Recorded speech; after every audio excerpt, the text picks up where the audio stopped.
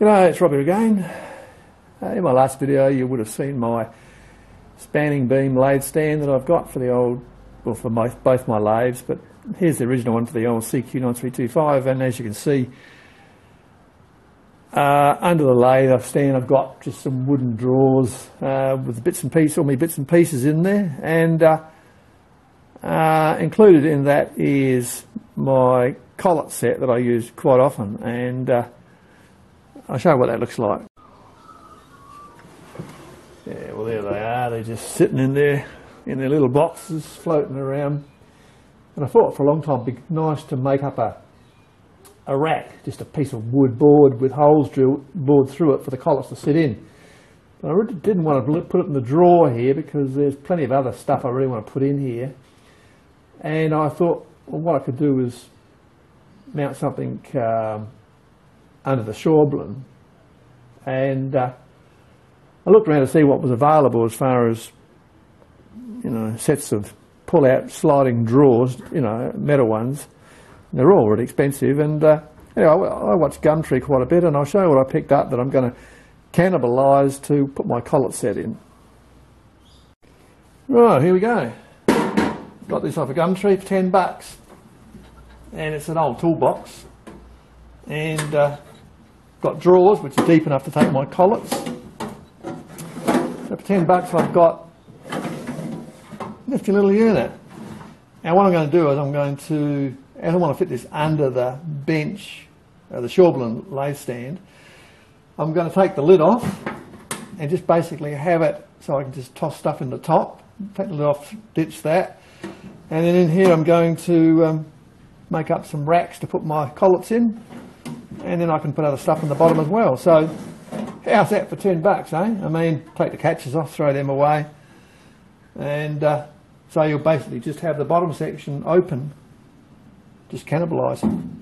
So, and besides that, for me 10 bucks, I also got another cantilever toolbox, which I'm selling uh, to get rid of, to cover my 10 buck cost, and I got a whole bunch of tools tossed in as well.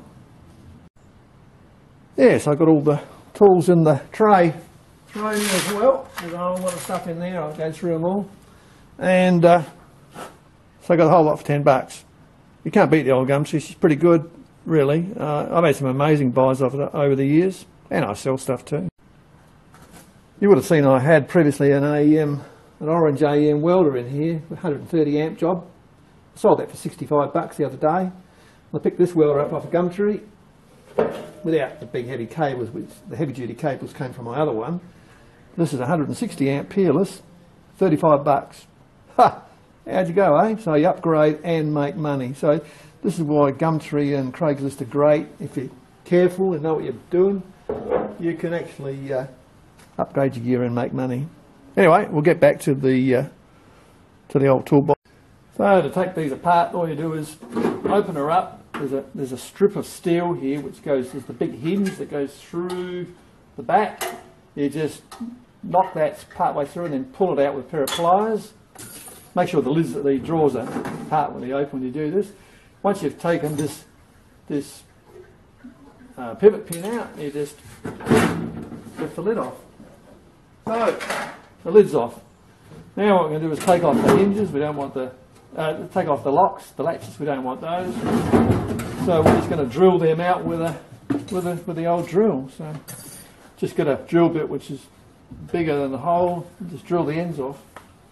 We'll do that. Seems you know a pity to waste a good toolbox, but I mean you know ten bucks, who cares? I mean shit, dirt cheap.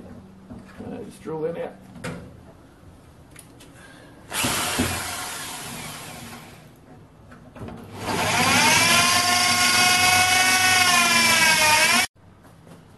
Right, so she's all reasonably clean. I'll give her a good wash down after. The next step now will be that as this is going to go in under the bench, I'm going to cut out a section through here. I'll leave half the depth of the shelf, but I'll cut through and along, and that section there will come out. That, may, that that'll allow me to easily reach in and uh, put stuff in and out. Um, and to do that I'll use my little uh, air die grinder uh, with a um, with a friction disc in it. So a few few minutes work with the old uh, air cutter. I've taken that front section out and uh, smoothed off the edges so I don't cut myself. So now I, I can go under the bench, I can just put stuff in in the shelf area. I've got the pull out drawers. I'll make up some racks to put the collets in. Give it all a good clean, a wash down. And uh, maybe a bit of paint even, you never know. I might be feeling generous. So for 10 bucks, well hopefully it'll cost me nothing because I'm going to sell the bits that uh, came with it. I'll have a nice set of drawers uh, that'll sit under the Schaublin um, lathe stand. I'll show you. And here it is under the uh, under the lathe stand, and cleaned her up. So now the next thing is to make up a wooden rack to go in there out of some um, particle board and uh, put my collets in there. Oh, I've cut a piece of particle board uh, to size to drop in the drawer and now I've laid out my, some of my collets on there to get the spacing right. Um, I've had to move them slightly this way to allow for the overhang of the toolbox. So basically there'll be three rows coming right through and I'm going to just drill them out with a, uh, little hole saw. So I'll work out the measurements uh, exactly and uh, I'll have a couple of holes left over but that won't matter so um, yeah.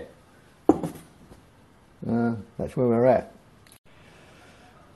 At this stage I've made up the uh, the rack to go in which is just some um, high density um, compressed uh, wood board. And I've just uh, used a 30 mil um, cutout gadget to uh, cut the holes and uh, this is the bottom we're looking at.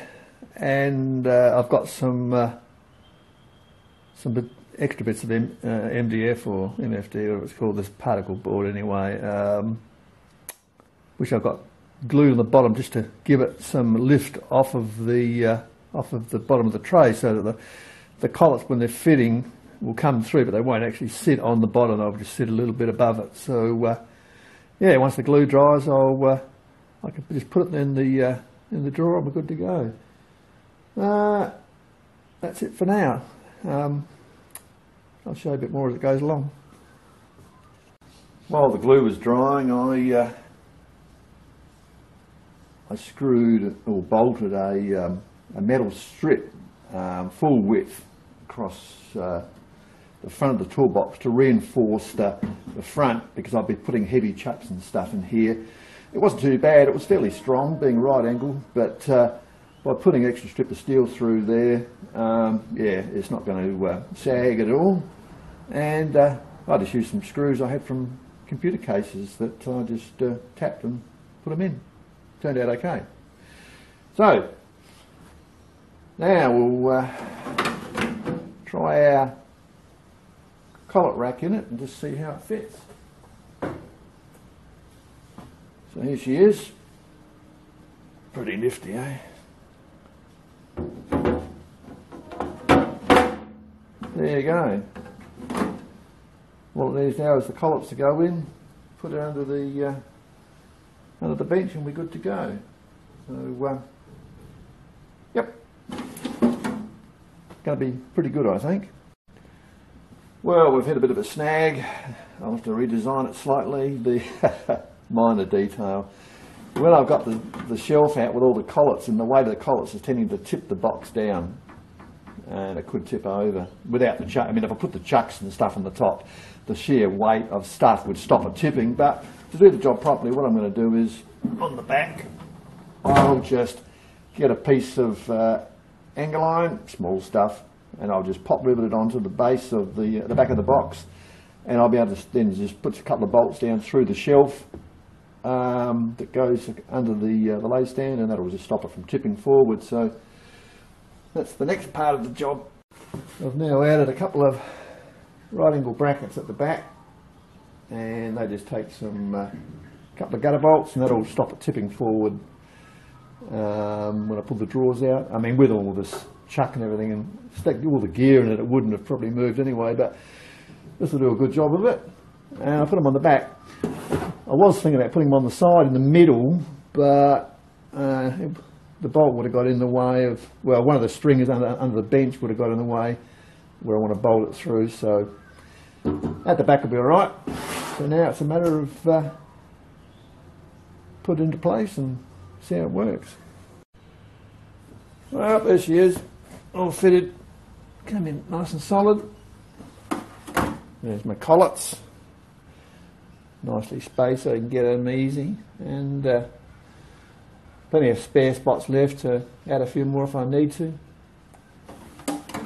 That's pretty good. And I've got a drawer at the bottom for bits and pieces, calipers and wrenches and spare chuck jaws and knurling and yeah, so for the grand sum of nothing, which is what it cost me, I've got myself a nice little set of drawers and an extra shelf. So the chuck and the test indicate a few things. So yeah, you know, uh, it turned out all right. Uh, I haven't painted it, I just washed it over with uh, with a bit of metho and uh, wiped an oily rag over it. And considering how it looked when I first got it, it turned out pretty good.